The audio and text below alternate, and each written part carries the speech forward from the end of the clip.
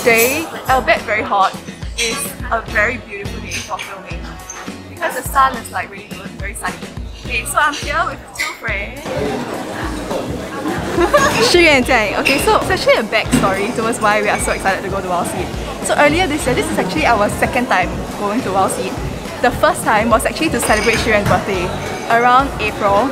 But then Jiang and I are super terrible planners and we actually didn't book the restaurant thinking that we could walk in. So in the end what happened was we walked in and then the person didn't entertain us at all. So we asked if we could, because it was quite a long journey, so we asked if we could actually just put our number there and if they had like a seat, they could like just call, call give us a call. But we waited for like an hour and they didn't call us back. So that's why today I'm like so excited and to come into Wildseed today.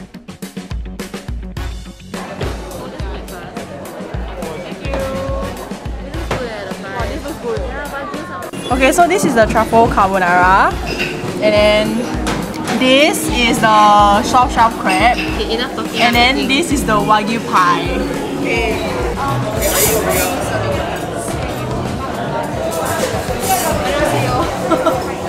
Let's dig in. 잘 먹겠습니다.